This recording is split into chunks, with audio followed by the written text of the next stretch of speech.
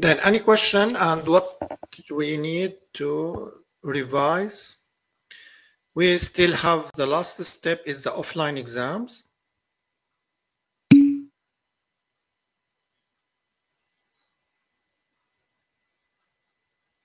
Yes, Ines.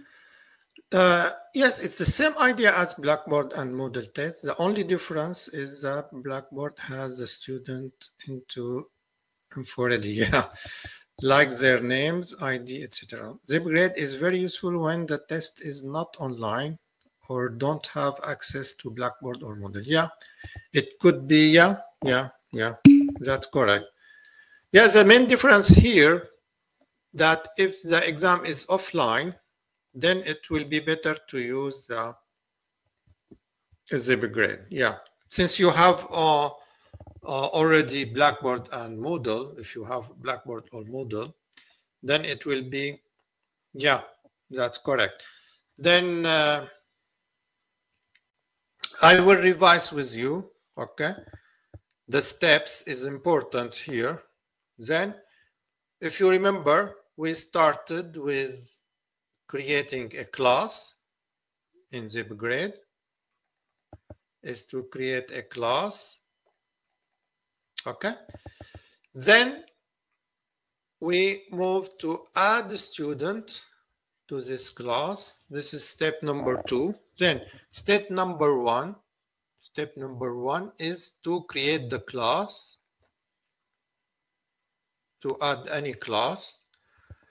And to add the student for this class, we use to import the student from CSV file, or you can add a new student manually.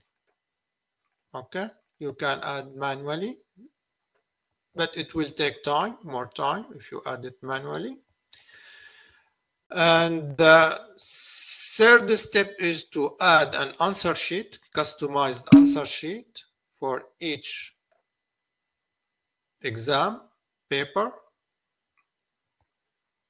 okay then after the answer sheet we create the quiz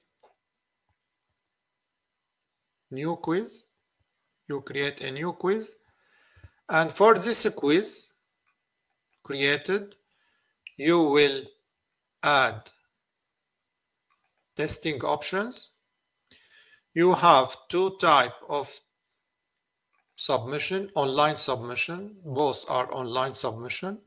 You have the verified submission and the open submission. For the verified submission, you have to create a new quiz assignment, which is important here. And the student has the option to submit the exam, in this case, to, through the student portal. Any question?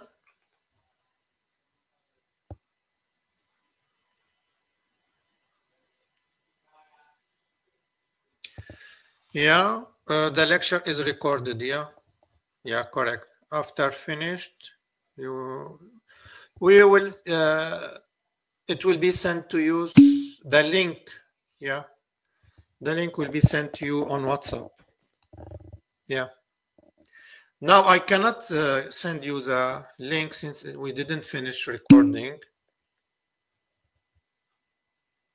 Okay, they will send you the link uh, on WhatsApp. Yeah. when the uh, when finish recording, uh, it will be sent to you on WhatsApp. Yeah. Uh, what make the difference here, as you said, that when you are doing exam offline on paper, then it is better to use the grade in this case. Okay. And uh, yeah, the link, yeah. The link of the recording will be sent to you on WhatsApp. Okay. Then uh, what I need here is to show you something else here if we come back to our classes, you have answer sheet packet here for your class. and uh, if you wish for this answer sheet for midterm midterm one this is the final okay I will click on this one and you can save it as a PDF file. Okay. This answer sheet if I open it now as you can see it is ready for your student for offline exam. As you can see it is printed with the name already and the class name and the student ID is already done for your student. Then you can print this paper and distribute it and give it to your student during the exam. It is already done. They don't need to put their names. And it is already done here. I think it look amazing since it is ready with the student name.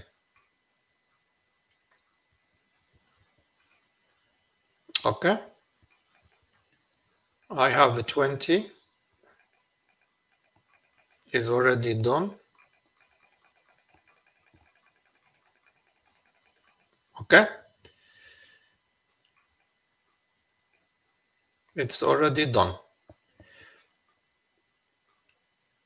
How you can find this idea?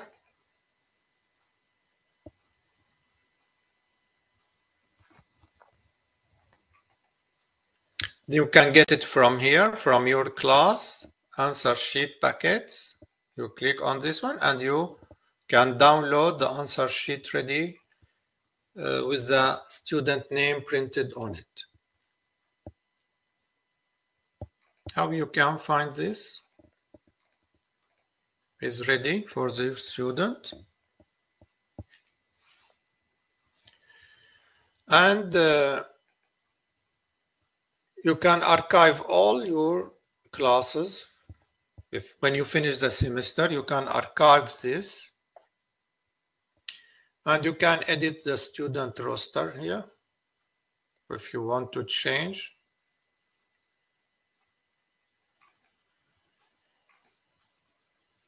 And you have the grade book here report. You have a grade book report.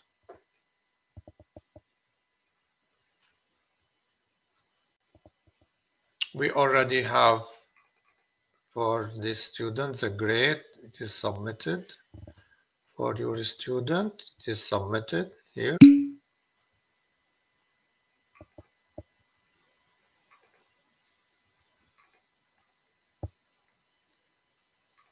okay and what options we have here also for your classes. Then we have the grade book report and the archive. And also you can print this one to give all the students access code, for example. You can give this is to save and I will show you Okay. This is the access instruction for the student portal for each student. You can give the page, each page for each student. This is the access code for your each student.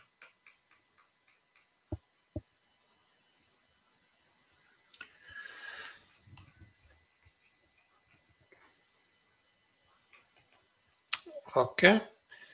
And what we have else here as information. You have a tag report here also. We have used these tags. How to add tags? You have here tags. You can add the tags for your exams. For example, we have essay, final, lab, practical, project. You can add from here. You can add a new tag. For example, theoretical.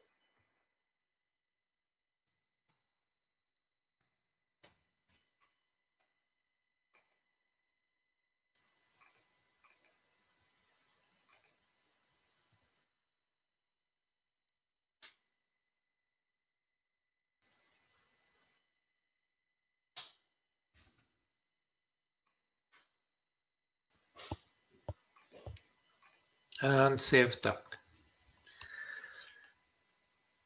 These are how to add tags. You can uh, delete tags. I have used these tags for quiz one here, quiz, and the quiz here. It is used. Okay. You can delete any one. For example, I will delete this one. Okay. Since it is not used. And uh, for student, for each student, you can, for example, for this student, papers and sessions. Okay, this is a graded papers. I have this graded paper for this student, for example. And uh, this is the final. And this is paper also the same. Okay.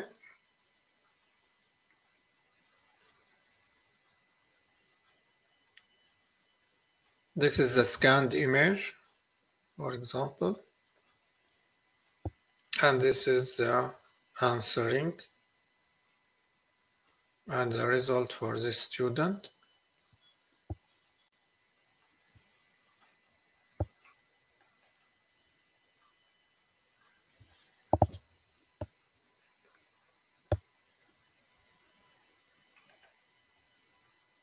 Okay.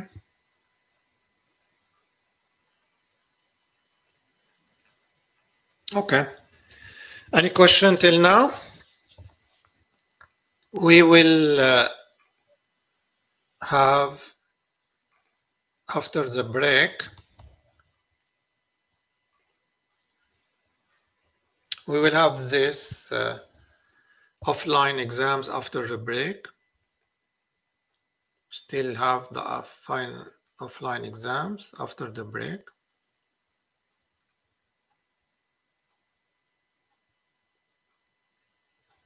We will create after the break the offline exam and see how to uh, scan the images using the mobile device. Okay? Any question? Okay. This is how then what we have created till now is we added a class, we added a student, we created quizzes, uh, and we have two type of online submission, open submission and the student portal submission, verified submission. Okay. That's all till now. Okay, let's go for a break. We finish this part. I, I have go through all the feature of the online submission till now.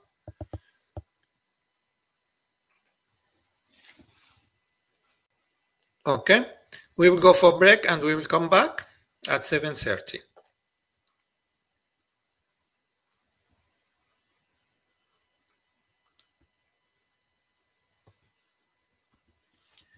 and we will discuss how to submit the offline exam.